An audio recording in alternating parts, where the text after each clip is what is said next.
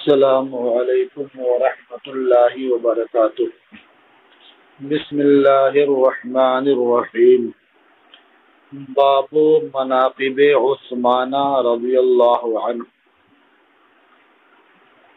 یہ ہے حضرت عثمان غنی رضی اللہ تعالی عنہ کے فضائل و مناقب کا باب ہے۔ یعنی اس باب میں مصنف رحمۃ اللہ تعالی علیہ ایسی احادیث نقل کرتے ہیں جن میں حضرت عثمان غنی رضی اللہ تعالی عنہ کی فضیلت اور منقبت کا بیان ہے۔ الفصل الاول۔ عن عائشة قالت كان رسول الله صلى الله عليه وسلم مزتجعا في بيته کاشفا ان فخذیہ او ساقیہ۔ ام المومنین، حضرت عائشہ رضی اللہ تعالی عنہا سے روایت ہے، انہوں نے فرمایا، اللہ کے رسول صلی اللہ تعالی علیہ وسلم اپنے گھر میں اپنی ران یا اپنی پڈلیاں کھولے ہوئے لیٹے تھے۔ ان یعنی اپنی ران کھولے ہوئے اور ساقی ہے یا پنڈلیاں۔ اس حدیث کی بنیاد پر مالکیہ نے یہ قول کیا کہ ران یہ عورت نہیں ہے یعنی اس کا چھپانا ضروری نہیں ہے۔ حالانکہ اس حدیث سے اس بات پر استدلال کرنا یہ مناسب نہیں ہے۔ اس لیے کہ اس میں راوی کو خود شک ہے کہ حضور اپنی ران کھولے ہوئے تھے یا اپنی پنڈلیاں کھولے ہوئے تھے۔ تو جب یہ خود طے نہیں ہے کہ ران کھلی ہوئی تھی، تو پھر اس سے یہ دلیل لانا کہ ران عورت سے نہیں ہے، اس کا کھولنا جائز ہے، یہ درست نہیں ہے۔ دوسرا احتمال یہ بھی ہے کہ یہاں ران یا پنڈلیاں کھلی ہونے سے مراد بے سطر ہونا نہیں ہے، بلکہ اظہار کے اوپر قمیص کا حصہ ہونا ہے۔ یعنی اظہار تو تھا ہی ران پر یا پڈلیوں پر قمیص کا حصہ نہیں تھا، یا دوسرا کپڑا جو آپ اوپر ڈالے ہوئے تھے وہ اس پر نہیں تھا۔ اس کی تائید اس بات سے بھی ہوتی ہے کہ نیچے آ رہا ہے، وہ سوا سیا بہو اور اپنے کپڑے سیدھے کر لیے، ٹھیک کر لیے۔ تو اگر یقیناً وہ پڈلیاں یا ران برہنا ہوتی تو پھر یہ کہا جاتا سطرہ کہ چھپا لیا سطر کر لیا۔ لیکن اس کے بجائے سوا سیاوہ کہا گیا۔ اس کا مطلب یہ ہے کہ وہ پنڈلی یا ران برہنا نہیں تھی، بلکہ اظہار تو تھا ہی، اس کے اوپر کا کپڑا اس پر نہیں تھا۔ ابو بکرین تو حضرت ابو بکر نے اندر آنے کی اجازت طلب کی فعزینا لہو وہ اعلیٰ تلکل حال تو نبی کریم صلی اللہ تعالی علیہ وسلم نے انہیں اجازت دے دی اور حضور اسی حال پر رہے۔ یعنی جس طرح لیٹے ہوئے تھے، اسی طرح لیٹے رہے کسی طرح کی کوئی جنبش نہیں فرمائی۔ فتحدث، وہ حضرت ابو بکر اندر تشریف لائے۔ اور بات چیت کی۔ تم مستانہ عمر ہو پھر تھوڑی دیر کے بعد حضرت عمر نے اجازت طلب کی۔ فعزینا لہو، تو حضور نے انہیں اذن دے دیا۔ وہ کزال کا اور خود یوں ہی لیٹے رہے۔ فتحدثا حضرت عمر اندر تشریف لائے اور بات چیت کی۔ تم مستانہ عثمان ہو پھر تھوڑی دیر بعد حضرت عثمان نے اجازت طلب کی۔ فجلس رسول اللہ صلی اللہ علیہ وسلم حضرت عثمان غنی کی اجازت طلب کرتے ہی نبی کریم صلی اللہ تعالی علیہ وسلم بیٹھ گئے اور اپنے کپڑے آپ نے درست فرما لیے، ٹھیک برابر کر لیے۔ فلما خرجا، تو اب اس کے بعد حضرت عثمان غنی اندر تشریف لائے، بات چیت کی، پھر یہ حضرات باہر تشریف لے گئے۔ فلما خرجا، تو جب وہ باہر تشریف لے گئے، قالت عائشہ تو تو ام المومنین حضرت عائشہ رضی اللہ تعالی عنہ نے عرض کیا، دخل ابو بکر ولم تحتش له ولم تبالہ۔ حضرت ابو بکر داخل ہوئے، تو آپ نے کوئی آپ نے ان کی وجہ سے کچھ جنبش نہ کی۔ ولم تبال ہی اور ان کی ان کی ذرا بھی پرواہ نہ کی آپ نے۔ یعنی تشا یا تشو حرکت کرنا۔ فلم تشا لہو، تو آپ نے ان کی وجہ سے، ان کے آنے کی بنیاد پر کچھ بھی حرکت نہیں کی، جیسے آپ لیٹے تھے، ویسے لیٹے رہے۔ ولم تبالی اور ان کے آنے کی کوئی پرواہ نہیں کی آپ نے۔ داخلہ عمر، ولم تشا لہو، ولم تبالی پھر عمر داخل ہوئے تو آپ نے ان کے لیے کوئی جنبش نہیں فرمائی اور ان کی کوئی پرواہ نہیں کی۔ ثم داخلہ عثمان جلستا وسویتا سیابکا پھر عثمان داخل ہوئے تو آپ اٹھ کر بیٹھ گئے اور آپ نے اپنے کپڑے ٹھیک کر لیے۔ آخر ایسا کیوں ہے؟ وقالا تو حضور نبی کریم صلی اللہ تعالی علیہ وسلم نے ارشاد فرمایا، الا استحی من رجل تستحی منه الملائکہ۔ کیا میں ایسے مرد سے حیا نہ کروں جس سے فرشتے حیا کرتے ہیں؟ یعنی حضرت عثمان وہ شخص ہیں کہ جن سے فرشتے بھی حیا کرتے ہیں، تو کیا میں ان سے حیا نہ کروں؟ یعنی یہ ان سے حیا کا تقاضا تھا کہ میں اٹھ کر کے بیٹھ گیا اور اپنے کپڑے ٹھیک کر لیے۔ وفی روایت قال، اور ایک روایت میں ہے کہ نبی کریم صلی اللہ تعالی علیہ وسلم نے فرمایا، ان عثمان رجل حیج بے شک عثمان بہت حیا کرنے والے شخص ہیں وہ ان خشی تو ان عظیم تو لہو اللہ تلکل اور مجھے اندیشہ ہوا کہ اگر میں نے اسی حالت پر انہیں اجازت دے دی اور اندر طلب کر لیا ان لا یبلغا الیہ فی حاجت ہی تو وہ اپنی ضرورت میں میرے پاس نہ پہنچ سکے۔ یعنی اس کے بعد جب انہیں کوئی ضرورت پیش آئے، جب بھی وہ میرے پاس نہ آ سکے، حیا کی وجہ سے یہ سوچ کر کے کہ جانے حضور نبی کریم صلی اللہ تعالی علیہ وسلم کس حال میں ہوں۔ تو اس لیے میں نے انہیں اسی طرح اجازت نہیں تھی، دی بلکہ اٹھ کر بیٹھ گیا، کپڑے وغیرہ ٹھیک کر لیا، تب انہیں اندر بلایا۔ اس حدیث سے بظاہر حضرت عثمان غنی رضی اللہ تعالی عنہ کی بڑی فضیلت معلوم ہوتی ہے کہ حضور نبی کریم صلی اللہ تعالی علیہ وسلم بھی ان کا خیال رکھتے ہیں، ان سے حیا فرماتے ہیں اور ان کا احترام کرتے ہیں۔ اور اس میں غور کریں تو اب یہ بھی کوئی کہہ سکتا ہے کہ جب تو حضرت شیخین کریمین رضی اللہ تعالی عنہما سے بھی زیادہ فضیلت، حضرت عثمان غنی کی معلوم ہوتی ہے کہ شیخین تشریف لائے تو حضور نے کوئی اہتمام نہیں کیا، ان کے آنے کی کوئی پرواہ نہیں کی۔ اور جب حضرت عثمان غنی تشریف لائے تو حضور نے اہتمام کیا اور اٹھ کر کے بیٹھ گئے، اپنے کپڑے بھی ٹھیک کر لیے۔ تو اس میں تو حضرت عثمان غنی کی فضیلت شیخین سے زیادہ معلوم ہوتی ہے۔ حالانکہ ایسا نہیں ہے۔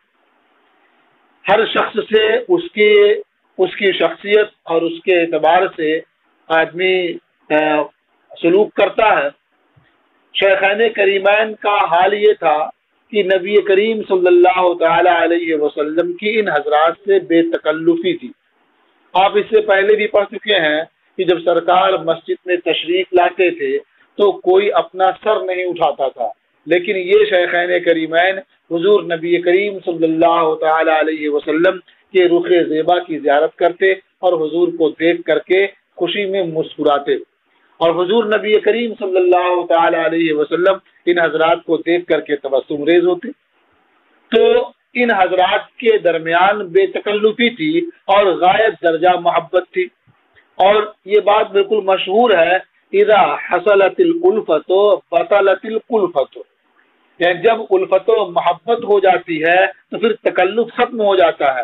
اب وہاں کوئی تکلف نہیں رہ جاتا ہے۔ تو ان حضرات کے درمیان غائب درجہ الفت و محبت تھی اور تکلف ختم ہو گیا تھا۔ اس لیے حضور نے انہیں یوں ہی طلب کر لیا اور کوئی اہتمام نہیں کیا۔ اور حضرت عثمان غیر رضی اللہ تعالی عنہ کے سامنے تکلف باقی تھا، اس لیے آپ نے اس کا لحاظ رکھا اور اپنے کپڑے درست فرما لیے اور اٹھ کر کے بیٹھ گئے، پھر انہیں اجازت دی۔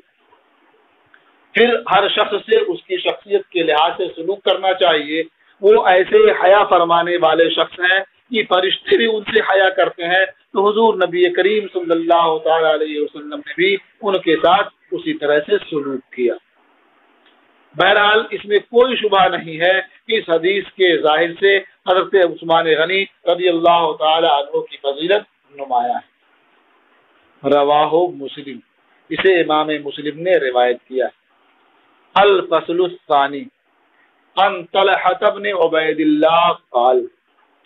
حضرت طلحہ ابن عبید اللہ سے روایت ہے، انہوں نے فرمایا، قال رسول اللہ صلی اللہ علیہ وسلم لکل نبی رفیق و رفیقی یعنی فی الجنت عثمان۔ اللہ کے رسول صلی اللہ تعالی علیہ وسلم نے ارشاد فرمایا، ہر نبی کے لیے کوئی رفیق ہوتا ہے اور میرے رفیق عثمان ہیں۔ راوی کہتے ہیں یعنی فی الجنہ۔ نبی کریم صلی اللہ تعالی علیہ وسلم کی مراد ہے جنت میں۔ یعنی ہر نبی کے لیے کوئی رفیق ہوتا ہے اور عثمان جنت میں میرے رفیق ہیں۔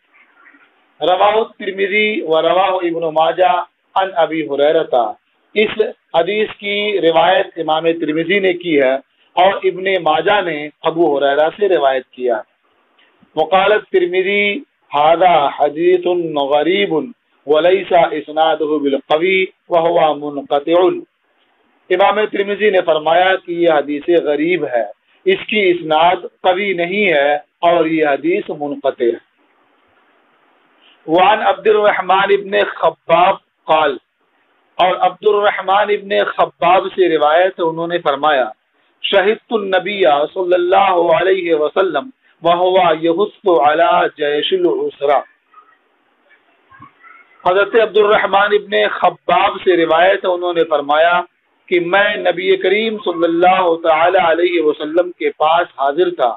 اس وقت جبکہ حضور جیش اسرا پر لوگوں کو ابھار رہے تھے۔ یعنی نبی کریم صلی اللہ تعالی علیہ وسلم جیش اسرا میں شامل ہونے کے لیے، اس کی تیاری میں امداد و عیانت کے لیے لوگوں کو رغبت دلا رہے تھے، انہیں ابھار رہے تھے، تو اس وقت میں وہاں موجود تھا۔ یہ جیش اسرا سے مراد یہ وہ لشکر ہے جو غزوہ تبوک میں شامل ہوا۔ یہ غزوہ رجب نو ہجری میں واقع ہوا اور یہ حضور نبی کریم صلی اللہ تعالی علیہ وسلم کا آخری غزوہ۔ اس وقت بڑی دشواری، بڑی تنگ دستی اور مشکلات کا سامنا تھا۔ حالت یہ تھی کہ کھانے پینے کے لیے توشہ نہیں تھا۔ تو یہ درختوں کی پتیاں بھی کھا لیتے تھے اور پینے کے لیے پانی نہیں ملتا تھا، تو اونٹ کی چربیوں سے اپنے ہوٹ تر کیا کرتے تھے۔ اس طرح سے اسرت تھی، دشواری اور تنگ دستی تھی۔ اسی لیے اس لشکر کا نام جیش اسرت رکھا گیا۔ تو اس لشکر کی تیاری کے لیے حضور نبی کریم صلی اللہ تعالی علیہ وسلم لوگوں کو رغبت دلا رہے تھے اور اس پر ابھار رہے تھے۔ کہ اس میں شامل بھی ہوں اور اس کے لیے امداد و اعانت بھی کریں۔ فقامہ عثمان تو حضرت عثمان غنی کھڑے ہوئے فقالا یا رسول اللہ، علیہ مئت بعیر بإحلاسها وأقطابها یا رسول اللہ، میرے ذمہ اللہ کی رائے میں سو اونٹ ہیں احلاس و اقتاب کے ساتھ۔ احلاس، یہ حلسن کی جمع ہے۔ جس کا معنی ہوتا ہے وہ موٹا کپڑا جو اونٹ کی پشت پر بچھاتے ہیں یا قیمتی فرش کے نیچے بچھاتے ہیں تاکہ فرش خراب نہ ہو۔ اور اقتاب یہ قطب کی جمع ہے، جس کا معنی ہوتا ہے پالان، جس کو اونٹ کے اوپر رکھتے ہیں، پھر اس پر سواری کرتے ہیں۔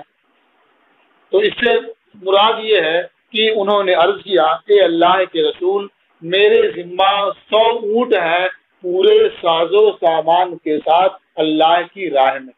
یعنی جو اس پر کپڑا بچھایا جاتا ہے، وہ کپڑا بھی میرے ذمہ ہے، اور جو اس پر لکڑی رکھی جاتی ہے، پالان رکھتے ہیں، وہ بھی میرے ذمہ ہے۔ ان سب کا انتظام میں کرتا ہوں۔ ثم حر، ثم حرز على الجيش پھر نبی کریم صلی اللہ تعالی علیہ وسلم نے اس لشکر پر ابھارا اور رغبت دلائی۔ فقام عثمان۔ تو حضرت عثمان دوبارہ دوبارہ کھڑے ہوئے فقال علیہ مئتا بعیر بحلاسها وقتابها فی سبیل اللہ فرمایا، میرے ذمہ اللہ کی راہ میں دو سو اونٹ ہیں پورے ساز و سامان کے ساتھ احلاس و اختاب کے ساتھ۔ ثم حرض فقام عثمان پھر نبی کریم صلی اللہ تعالی علیہ وسلم نے ابھارا، رغبت دلائی تو حضرت عثمان پھر کھڑے ہوئے، عرض کیا، علیہ صلاۃ بعیر باحلاسها واقطابها فی سبیل اللہ، میرے ذمہ تین سو اونٹ ہیں، پورے ساز و سامان کے ساتھ اللہ کی راہ فرماتے ہیں فانا رأيت رسول اللہ صلی اللہ علیہ وسلم ينزل عن المنبر۔ میں نے اللہ کے رسول صلی اللہ علیہ وسلم کو دیکھا کہ حضور ممبر سے نیچے تشریف لا رہے ہیں اور فرما رہے ہیں، ما علا عثمان ما عملہ بعد هذا۔ یعنی عثمان پر کوئی حرج نہیں ہے، عثمان سے کوئی مواخذہ نہیں ہے، اس کے بعد وہ جو عمل کریں۔ یعنی یہ جیش اسرت کی تیاری میں انہوں نے جو اتنا تعاون کیا ہے، اتنا بڑا کار خیر ہے اور اللہ کی بارگاہ میں مقبول ہے کہ اب اس کے بعد اگر ان سے کوئی گناہ بھی سرزد ہو جائے، کوئی خطا بھی واقع ہو جائے، تو اس کا مواخذہ نہیں ہوگا۔ اس کے صدقے میں انہیں بخش دیا جائے گا، معاف کر دیا جائے گا۔ تو ما اعلیٰ عثمان عثمان پر کچھ بھی نہیں ہے، کوئی مواخذہ نہیں ہے۔ ما عملہ بادہ ہادی جو بھی اس کے بعد وہ کرے ما علا عثمان، ما عملہ بعد ہادی ان دو بار آپ نے یہ کلمہ ارشاد فرمایا. رواہ ترمیری اسے امام ترمیزی نے روایت فرمایا. اب اس میں اس بات کا بھی احتمال ہے کہ حضرت عثمان غنی نے اپنے ذمہ کل تین سو اونٹ لیے ہوں۔ اور یہ بھی ہو سکتا ہے کہ ایک بار سو اونٹ کا وعدہ کیا، پھر اس کے بعد دو سو اونٹ کا وعدہ کیا، یہ تین سو ہو گئے، پھر اس کے بعد تین سو اونٹ کا وعدہ کیا، یہ کل چھ سو اونٹ ہو گئے۔ تو اس طرح سے انہوں نے گویا چھ سو اونٹ پورے ساز و سامان کے ساتھ جیسے اسرا کی تیاری میں آپ نے دیا۔ تو یہ بہت بڑا تعاون ہے کہ ایک ساتھ کوئی بندہ چھ سو اونٹ پورے ساز و سامان کے ساتھ اللہ کی راہ میں خیرات کرے۔ اس سے معلوم ہوا کہ حضرت عثمان غنی رضی اللہ تعالی عنہ کو جس طرح سے اللہ جل شاہ نے مال و دولت سے نوازا تھا، اسی طرح سے خرچ کرنے والا دل بھی عطا فرمایا تھا۔ وعن عبد الرحمن ابن سمورتا قال، اور حضرت عبد الرحمن ابن سمورا سے روایت فرمایا، جاء عثمان الى النبی صلی اللہ علیہ وسلم۔ بألف دینار فی کمہ۔ حین جہزا جیش العسرہ۔ حضرت عبد الرحمن ابن سمرہ سے روایت انہوں نے فرمایا کہ حضرت عثمان غنی رضی اللہ تعالی عنہ نبی کریم صلی اللہ تعالی علیہ وسلم کی خدمت میں ایک ہزار دینار اپنی آستین میں رکھ کر لائے، جس وقت انہوں نے جیش اسرا کو تیار کیا۔ یعنی اس کے اس کے، اس کی تیاری میں تعاون کیا اور اتنے زیادہ اونٹ پیش کیے تو ایک ہزار دینار بھی لے کر کے آئے۔ پر فنسا رہا فی ہجر ہی اور وہ سارے دینار حضور نبی کریم صلی اللہ تعالی علیہ وسلم کی گود میں ڈال دیے۔ فرائت النبی صلی اللہ علیہ وسلم یقلبها فی حجر تو میں نے نبی کریم صلی اللہ تعالی علیہ وسلم کو دیکھا کہ وہ وہ دنانیر اپنی گود میں الٹ پلٹ رہے ہیں اور ارشاد فرما رہے ہیں، ما ضر عثمان، ما عمل بعد اليوم مرتين یعنی عثمان کے لیے کچھ مضر نہیں جو وہ کریں آج کے بعد۔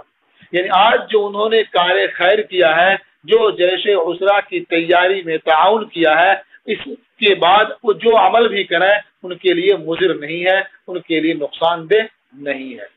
اس سے یہ معلوم ہوا کہ آدمی اگر کوئی نیک عمل کرتا ہے اور رب کی بارگاہ میں وہ مقبول ہو جاتا ہے، تو پھر اس کے بعد وہ کوئی کام کرنا چاہتا ہے تو اللہ تعالیٰ اسے غلطی سے بچا لیتا ہے۔ یعنی اس سے خطا واقع نہیں ہوتی ہے، گناہ کا کام نہیں ہوتا ہے، اس لیے وہ پھر نقصان دہ بھی نہیں ہوتا ہے۔ اور اگر اتفاق سے کوئی خطا واقع بھی ہو جاتی ہے تو اللہ تبارک و تعالیٰ اس عمل مقبول کی وجہ سے اسے معاف فرما دیتا ہے، بخش دیتا ہے۔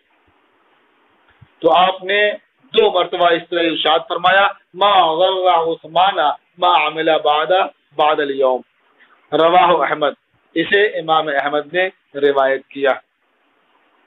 وعن انس قال، اور حضرت انس سے روایت ہے، فرمایا، لما امر رسول اللہ صلی اللہ علیہ وسلم ببیعت الرضوان، کانا عثمان رسول رسول اللہ صلی اللہ علیہ وسلم الى مکہ تھا۔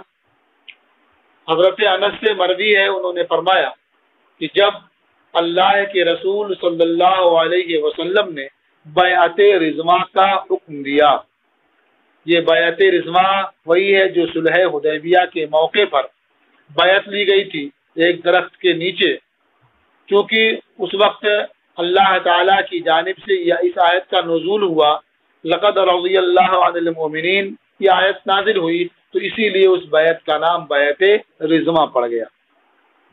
تو بیعت رضوا کا حکم دیا۔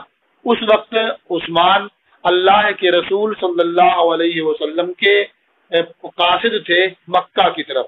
یعنی اللہ کے رسول صلی اللہ علیہ وسلم نے انہیں مکہ ذمہ داروں سے، وہاں کے لوگوں سے بات کرنے کے لیے بھیجا تھا تاکہ یہ بات ہو جائے کہ یہ حضرات یہ رائے رائے کے لیے نہیں آئے ہیں، بلکہ خانہ کعبہ کے طواف کے لیے آئے ہیں اور انہیں اجازت دی جائے۔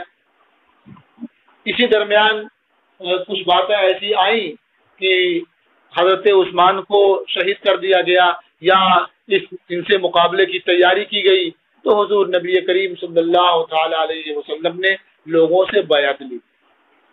فقال رسول اللہ صلی اللہ علیہ وسلم۔ اس وقت جب سب لوگ بیعت کر چکے، تو اللہ کے رسول صلی اللہ تعالی علیہ وسلم نے ارشاد فرمایا، ان عثمان فی حاجت اللہ و حاجت رسول ہی بے شک عثمان اللہ کی حاجت اور اللہ کے رسول کی حاجت میں اللہ کی حاجت کیا ہے؟ اللہ کی مخلوق کی جو حاجت ہے، اسے اللہ کی حاجت کہا گیا۔ اس لیے کہ اللہ تبارک مطالعہ اپنی مخلوق سے محبت فرماتا ہے اور مخلوق کی حاجت کو اس کی حاجت مجازن قرار دیا جاتا ہے۔ ورنہ اللہ تبارک مطالعہ حاجت سے بے نیاز ہے۔ اسے کسی کی کوئی حاجت نہیں۔ تو عثمان اللہ کی حاجت میں اور اللہ کے رسول کی حاجت میں ہے۔ بحدا یدئی الاخرا تو نبی کریم صلی اللہ تعالی علیہ وسلم نے اپنا ایک ہاتھ دوسرے ہاتھ پر رکھا فقانت ید رسول اللہ صلی اللہ علیہ وسلم لعثمان خیرا من ایدیہم لانفسہم، تو اللہ کے رسول صلی اللہ علیہ وسلم کا ہاتھ عثمان کے لیے یہ لوگوں کے اپنے ہاتھ سے بہتر تھا۔ اسے امام ترمیزی نے روایت کیا ہے۔ یعنی حضرت عثمان غنی کی طرف سے بھی اللہ کے رسول صلی اللہ علیہ وسلم نے بیعت کی اور حضرت عثمان وہاں موجود نہیں تھے تو اپنے ایک ہاتھ کو حضرت عثمان کا ہاتھ قرار دیا اور اپنے دوسرے ہاتھ کو اپنا ہاتھ رکھ مانا اور جس ہاتھ کو عثمان کا ہاتھ قرار دیا اسے اپنے دوسرے ہاتھ پر رکھا اور کہا کہ یہ عثمان کی طرف سے تو فرمایا کہ لوگوں نے جو اپنے ہاتھ سے بیعت کی تھی تو سرکار کا جو ہاتھ عثمان غنی کے لیے تھا، یہ لوگوں کے اپنے ہاتھ سے بہتر تھا۔ یہ حضرت عثمان غنی کی بہت بڑی فضیلت ہے کہ حضور نبی کریم صلی اللہ تعالی علیہ وسلم نے اپنے ہاتھ کو عثمان کا ہاتھ قرار دیا۔ اور یہ واضح طور پر فرمایا کہ عثمان اللہ اور اللہ کے رسول کی حاجت میں ہے۔ یعنی وہ اہل مکہ کے پاس بات چیت کے لیے گئے تھے اور اس وقت وہاں جانے والوں میں ان سے بہتر کوئی نظر نہیں آتا تھا۔ اس لیے کہ وہ ان کے تعلقات اچھے تھے، ان کے قبیلے کے لوگ ان سے محبت کرتے تھے، ان کے استقبال کے لیے حاضر تھے، انہیں اپنے امان میں لیا اور لے گئے، کہا کہ خانہ کعبہ کا آپ طواف کر لیں۔ لیکن انہوں نے کہا نہیں، میں جس کام کے لیے آیا ہوں، اس کے علاوہ میں دوسرا کام نہیں کر سکتا۔ طواف کرنے کا موقع ملے گا تو حضور نبی کریم صلی اللہ تعالی علیہ وسلم کے ساتھ طواف کریں گے۔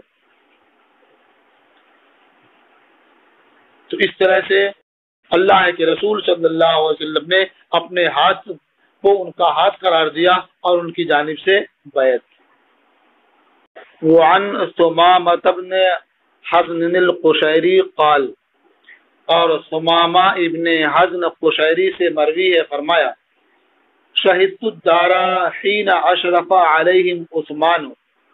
میں حضرت عثمان غنی رضی اللہ تعالی عنہ کے گھر کے پاس تھا، جس وقت حضرت عثمان غنی رضی اللہ تعالی عنہ محاصرہ کرنے والوں کے سامنے رونما ہوئے۔ اشرف اعلیٰ کا معنی ہوتا اوپر سے جھانکنا۔ یعنی بلوائیوں نے حضرت عثمان کے گھر کا محاصرہ کر لیا تھا تو اس وقت حضرت عثمان غنی ان سے بات چیت کرنے کے لیے گھر کے اوپر سے ان کی طرف متوجہ ہوئے۔ فقالا تو فرمایا، ان شد، ان ان شیدکم اللہ والاسلام حل تعلمون ان رسول اللہ صلی اللہ علیہ وسلم قادم المدینہ ولیس بها معون یستعذب غیر بیر روما تو حضرت عثمان غنی رضی اللہ تعالی عنہ نے فرمایا، میں تم سے اللہ اور اسلام کے واسطے سوال کرتا ہوں۔ ان شیدکم میں تم سے سوال کرتا ہوں، تم سے پوچھتا ہوں۔ اللہ والاسلام، اے باللہ و بالاسلام یعنی اللہ اور اسلام کے حق کے واسطے سے میں تم سے پوچھتا ہوں حل تعلمون؟ کیا تمہیں معلوم ہے؟ کیا تم جانتے ہو؟ ان رسول اللہ صلی اللہ علیہ وسلم قادم المدینہ کہ اللہ کے رسول صلی اللہ تعالی علیہ وسلم مدینہ تشریف لائے. ولیس بها معون یستعذب غیر بیر روما. اور مدینہ میں بیر روما کے علاوہ کوئی میٹھا پانی نہیں تھا. یعنی مدینہ منورہ میں صرف ایک کنواں تھا، وہی بیر روما جس میں میٹھا پانی نکلتا تھا. باقی اور پانی وہ نمکین تھا، صرف بیر روما ہی ایسا کنواں تھا جس سے میٹھا پانی نکلتا تھا۔ فقالا میں یشتری بیرا رومتا یجعل دلوہ معادل المسلمین بخیر لہو منہا فی الجنہ۔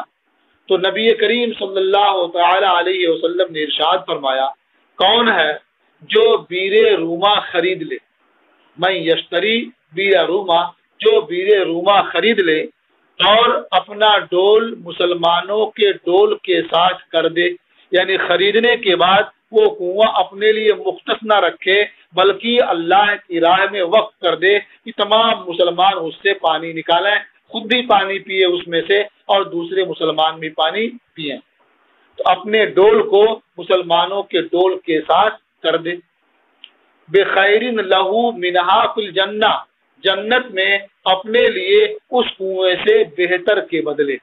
یعنی اللہ تعالیٰ اسے جنت میں اس سے بہتر کنواں عطا فرمائے یا اس سے بہتر نیوز عطا فرمائے، تو اس کے بدلے کون؟ بیر روما خرید کر کے اللہ کی رائے میں اسے وقت کرتا ہے۔ سلب مالی، تو میں نے وہ کنواں اپنے ذاتی مال سے خریدا۔ یعنی خالص اپنے جیب سے اپنے مال سے میں نے وہ کنواں خریدا۔ کہا جاتا ہے کہ حضرت عثمان غنی رضی اللہ تعالی عنہ نے وہ کنواں پینتیس ہزار درہم میں خریدا۔ اور ایک روایت میں ہے کہ اسی ہزار درہم میں وہ کنواں خریدا۔ اب دونوں میں تطبیق کی صورت بھی ہو سکتی ہے کہ چونکہ وہ کنواں ایک ساتھ نہیں خریدا گیا، بلکہ قسطوں میں خریدا گیا۔ تو ممکن ہے کہ پہلی بار پینتیس ہزار میں خریدا ہو اور دوبارہ پھر باقی رقم ادا کی ہو تو ملا کر کے اسی ہزار دینار ہو گئے ہوں۔ جس یہودی کا کنواں تھا، وہ اسے بیچنا نہیں چاہتا تھا۔ تو حضرت عثمان غنی نے اسے ماگی قیمت دی اور یہ کہا کہ یہ کنواں تم مجھے بیچ دو۔ اس طور پر کہ ایک دن اسے میں استعمال کروں اور ایک دن تم استعمال کرو۔ اس کا حال یہ تھا کہ وہ مسلمانوں سے اس کا پانی بیچا کرتا تھا یعنی پیسے لے کر کے انہیں پانی لینے دیتا تھا۔ تو یہودی نے سوچا کہ اکٹھا اتنی رقم مل جائے گی اور ایک دن وہ استعمال کریں گے اور ایک دن میں پانی بیچتا رہوں گا۔ تو حضرت عثمان غنی نے وہ کنواں ایک دن کے یعنی باری باری دن کے لیے خرید لیا۔ تو جب ان کی باری کا دن ہوتا تو تمام مسلمانوں کے لیے اتنے عام ہوتا۔ سب لوگ اپنا پانی بھر لیتے اور اتنا پانی جمع کر لیتے کہ اگلے دن بھی وہ کافی ہو۔ تو اس طرح سے دوسرے دن کوئی اس سے پانی خریدنے نہیں جاتا تھا۔ تو پھر بعد میں حضرت عثمان غنی نے اس سے بات کی تو اس نے پورا کنواں ہی ان سے بیچ دیا۔ تو ممکن ہے کہ جو دو باتیں کہی جاتی ہیں کہ پینتیس ہزار درہم میں خریدا یا اسی ہزار درہم میں خریدا، تو اسی طرح سے دو قسطوں میں خریدا ہو، تو دونوں ملا کر کے اسی ہزار کا ذکر ہوتا ہو۔ اور ایک بار جو دیا ہو، وہ پینتیس ہزار درہم دیا ہو۔ تو فرمایا کہ میں نے اسے اپنے ذاتی مال سے خریدا۔ وانتم اليوم تمنعونني ان اشرب منها۔ اور آج تم لوگ مجھے اس کا پانی پینے سے روک رہے ہو۔ حتی اشرب من ماء البحر۔ یہاں تک کہ میں سمندر کا پانی پی رہا ہوں۔ یعنی میں اس کنویں کے علاوہ دوسرے کنویں کا پانی پی رہا ہوں جو سمندر کی طرح سے نمکین ہے۔ فقالو، اللہم نعم۔ جن لوگوں نے گھر کا محاصرہ کیا تھا، وہ بولے ہاں واقع ایسا ہی ہے۔ یہ اللہ کا ذکر، یہ تاکید کے لیے ہے کہ جو بات ہم کہہ رہے ہیں، جو تصدیق کر رہے ہیں، یہ تصدیق تاکید کے ساتھ ہے۔ یقیناً ایسا ہی ہے کہ آپ نے وہ کنواں اپنے ذاتی مال سے خریدا اور وقت کیا۔ فقالا تو حضرت عثمان نے فرمایا، ان شیدکم اللہ علیہ السلام میں تمہیں اللہ اور اسلام کے واسطے سے پوچھتا ہوں حل تعلمون ان المسجد ضاق بأہلہ کیا تمہیں پتا ہے؟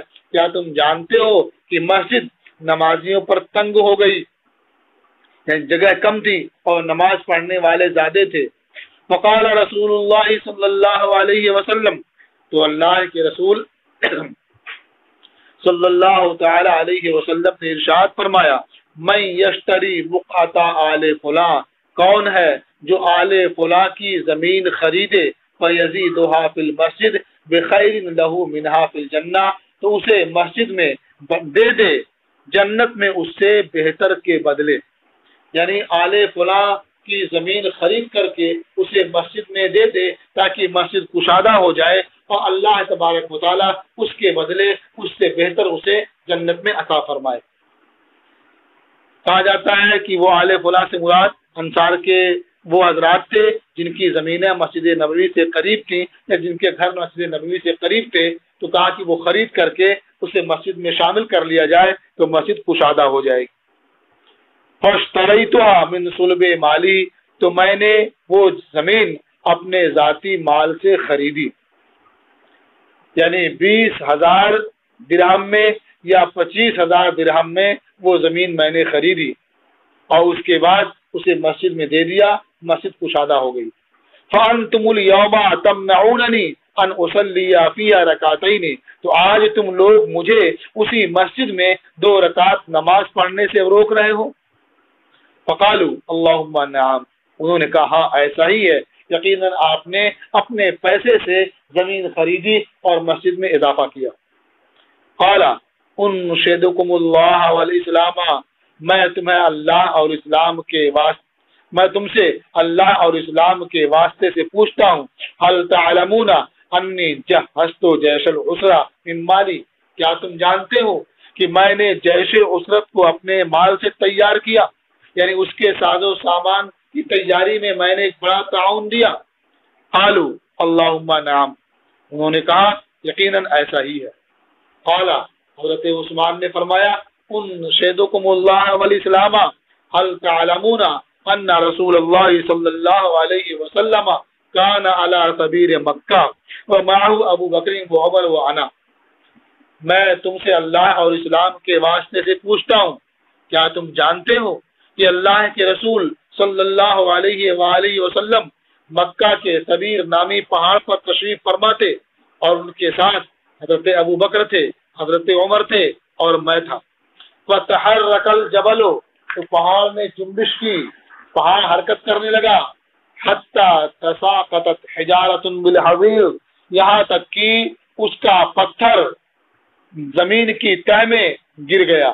کہ پہاڑ نے اتنی تیز جنبش کی کہ ایک بڑا ٹکڑا اس کا ٹوٹ کر کے نیچے گر گیا۔ فرکا وہو برجلہی تو حضور نبی کریم صلی اللہ تعالی علیہ وسلم نے اپنی پاؤں سے ٹھوکر ماری۔ نے اس پہاڑ کو، جس کا نام سبیر تھا، اپنی پاؤں سے ٹھوکر لگائی، ماری اور فرمایا اسکن سبیرو، اے سبیر، ٹھہر جا۔ فَإِنَّمَا عَلَيْكَ نَبِيٌّ وَصِدِّيقٌ وَشَهِدَانِ کیونکہ تیرے اوپر ایک نبی ہے، ایک صدیق ہے اور دو شہید ہیں۔ تو خود نبی کریم صلی اللہ تعالی علیہ وسلم تشریف فرماتے اور حضرت ابکر صدیق رضی اللہ تعالیٰ عنہ تھے اور دو شہید یعنی حضرت عمر فاروق اعظم اور حضرت عثمان۔ دو شہید فرمایا حضور نے۔ قالو اللہ نام تو محاسنہ کرنے والوں نے کہا، یقیناً ایسا ہی ہے۔ قالا، اللہ اکبر۔ یہ سب سن کر کے حضرت عثمان غنی نے فرمایا، اللہ اکبر یعنی تکبیر بلند فرمائی اس بات پر تعجب کرتے ہوئے کہ یہ سب اقرار بھی کر رہے ہیں اس بات کا اور مجھے قتل کرنے پر اصرار بھی کر رہے ہیں۔ قال اللہ اکبر شہد ورب الکعبہ، انی شہید اللہ اکبر، انہوں نے گواہی دی، رب کعبہ کی قسم، یقیناً میں شہید ہوں۔ سلاسن تین مرتبہ آپ نے اس طرح ارشاد فرمایا۔ روا ترمیزی و نسائی و دارا قطنی اسے امام ترمیزی اور نسائی اور دارا قطنی نے روایت کیا۔ وان مرت ابن کعب قال، اور مرہ ابن کعب سے روایت ہے، انہوں نے فرمایا، سمعت من رسول اللہ صلی اللہ علیہ وسلم و ذکر الفتنہ۔ میں نے اللہ کے رسول صلی اللہ تعالی علیہ وسلم سے سنا، اس حال میں کہ حضور نے فتنے، فتنوں کا ذکر فرمایا تو انہیں قریب قرار دیا۔ یعنی بتایا کہ فتنے بہت قریب ہیں۔ فمر رجل مقنع فی ثوب تو ایک مرد گزرا جو کپڑے میں ڈھکا ہوا تھا یعنی کپڑا سر میں اس طرح سے باندھے ہوئے تھے کہ چہرہ بھی ڈھکا ہوا تھا۔ فقالا هذا يومئذ الهدى حضور نے ارشاد فرمایا، یہ شخص جو جا رہا ہے، یہ اس دن ہدایت پر ہوگا۔ یعنی جب فتنے نورما ہوں گے، تو ان فتنوں میں یہ شخص ہدایت پر ہوگا۔ فقم تو الہی مرہ ابن کعب کہتے ہیں، میں اٹھ کر کے اس شخص کے پاس گیا۔ فَإِذَا ہوا عثمان ابن عفان، تو دیکھا کہ وہ عثمان ابن عفان ہے۔ قالا راوی کہتے ہیں، فَأَقْبَلْتُ عَلَيْهِ بِوَجْهِهِ، تو میں نے ان کا چہرہ نبی کریم صلی اللہ تعالی علیہ وسلم کی طرف کیا۔ فقل تو حاضا تو میں نے چہرہ دکھا کر کے حضور سے فرمایا، حضور سے پوچھا کہ یہ شخص اس دن ہدایت پر ہوگا؟ قالا نعم۔ تو حضور نے ارشاد فرمایا ہاں یہ شخص اس دن ہدایت پر ہوگا۔ رواء ترمیزی ابن ماجہ، اسے امام ترمیزی نے روایت کیا اور ابن ماجہ نے روایت کیا۔ وقالت ترمیزی هذا حدیث حسن صحیح اور امام ترمیزی نے فرمایا کہ یہ حدیث حسن صحیح ہے۔ تو اس سے معلوم ہوا کہ حضور نبی کریم صلی اللہ تعالی علیہ وسلم نے اس فتنے کی پہلے ہی خبر دے دی تھی کہ فتنہ پیدا ہوگا اور اس طرح سے لوگ آئیں گے اور انہیں ہلاک کرنا چاہیں گے، اس وقت حضرت عثمان غنی حق پر ہوں گے۔ وعن عائشہ ان النبی صلی اللہ علیہ وسلم قال، اور ام المومنین حضرت عائشہ صدیقہ رضی اللہ تعالی عنہ سے روایت ہے کہ نبی کریم صلی اللہ تعالی علیہ وسلم نے فرمایا، یا عثمانو انہو لعل اللہ یقمسک قمیسا اے عثمان، یقینا امید ہے کہ اللہ آپ کو قمیص پہنائے۔ قمیص پہنائے مطلب خلافت آپ کو عطا فرمائے۔ فَإِنْ أَرَادُوكَ عَلَىٰ خَلْعِهِ، تو اگر لوگ آپ سے اس قمیص کو اتارنے کی خواہش کریں، اس قمیص کے اتارنے کی بات کریں یعنی خلافت سے سبک دوش ہونے اور معذور ہونے کی بات کریں، فلا لهم، تو آپ ان کے لیے قمیص نہ اتاریں یعنی خلافت سے سبک دوش نہ ہو رواہ ترمیزی اسے امام ترمیزی نے روایت کیا، ابن ماجہ نے روایت کیا اور امام ترمیزی نے فرمایا کہ حدیث میں ایک لمبا قصہ ہے۔ تو اس میں خلافت کو قمیص سے تعبیر کیا اور حضرت عثمان غنی کو صاف صاف اس بات کا حکم دیا کہ ایسا ہو سکتا ہے اور جب ایسا ہو تو تم ان کے لیے خلافت سے دستبردار نہ ہونا۔ وہ آج ابن عمر قال، اور حضرت ابن عمر سے روایت فرمایا، ذکر رسول اللہ صلی اللہ علیہ وسلم کتنا فقال اللہ کے رسول صلی اللہ علیہ وسلم نے فتنے کا تذکرہ فرمایا تو ارشاد فرمایا، یقتل هذا فيها مظلوما لعثمان یعنی حضرت عثمان کی طرف اشارہ کرتے ہوئے حضور نے فرمایا کہ اسے اس فتنے میں ظلمن قتل کیا جائے گا۔ یعنی یہ شخص مظلوم ہوگا اور انہیں اس فتنے میں قتل کیا جائے گا۔ رواہ الترمذی وقال هذا حدیث حسن غریب اسنادا۔ اسے امام ترمذی نے روایت کیا اور فرمایا کہ یہ حدیث حسن غریب حسن ہے، غریب ہے سنت کے اعتبار سے۔ وعن ابی سہلتا قال، اور ابو سہلہ سے روایت انہوں نے فرمایا، قال علی عثمان یوم الدار۔ مجھ سے حضرت عثمان نے دار کے روز یعنی گھر کا محاصرہ کیے جانے کے دن فرمایا، ان رسول اللہ صلی اللہ علیہ وسلم قد عہد علی احدا، وانا صابر علی بے شک اللہ کے رسول صلی اللہ علیہ وسلم نے مجھے ایک چیز کی وصیت فرمائی ہے اور میں اس پر صبر کر رہا ہوں۔ وصیت کیا ہے؟ یعنی حضور نے ارشاد فرمایا کہ تم سے لوگ خلافت سے دستبردار ہونے کے لیے کہا ہے کہ تم ان سے خلافت سے دستبردار نہ ہونا، اس سے الگ نہ ہونا، تو میں اسی پر صبر کر رہا ہوں۔ روا ترمیزی وقال حدیث حسن صحیح، اسے امام ترمیزی نے روایت کیا۔ اور فرمایا کہ یہ حدیث حسن صحیح ہے۔ بعض روایتوں میں صاف صاف ہے کہ حضرت عثمان غنی نے فرمایا کہ حضرت عثمان غنی سے لوگوں نے گزارش کی کہ آپ خلیفہ ہیں، آپ باہر تشریف لائے ان سے مقابلہ کرائیں اور یہ امت آپ کا ساتھ دے گی اور ان کا جو گھیرا تنگ ہو گیا ہے، یہ ختم ہوگا اور ہم لوگ مقابلہ کریں گے اور انہیں پسپا کر دیں گے۔ لیکن حضرت عثمان غنی نے فرمایا کہ مجھ سے اللہ کے رسول صلی اللہ علیہ وسلم نے فرمایا کہ میں صبر کروں اور ان کے لیے خلافت سے دستبردار بھی نہ ہوں، تو میں اسی پر صبر کر رہا ہوں۔ یہ صبر کی بہت بڑی مثال ہے کہ حضرت عثمان غنی رضی اللہ تعالیٰ عنہ نے سارے اختیار اور ساری قوت کے بعد حضور نبی کریم صلی اللہ علیہ وسلم کے ارشاد پر عمل فرمایا، صبر کیا، یہاں تک کہ اپنی جان بھی دے دی۔ یہ حادثہ ایسا حادثہ ہے کہ اس سے پہلے مسلمانوں کی تاریخ میں اس کی نظیر نہیں ملتی ہے۔ یہ دوسری فصل بھی ختم ہوئی اور آج کا آپ کا سبق بھی مکمل ہوا۔ السلام علیکم ورحمۃ اللہ تعالی وبرکاتہ۔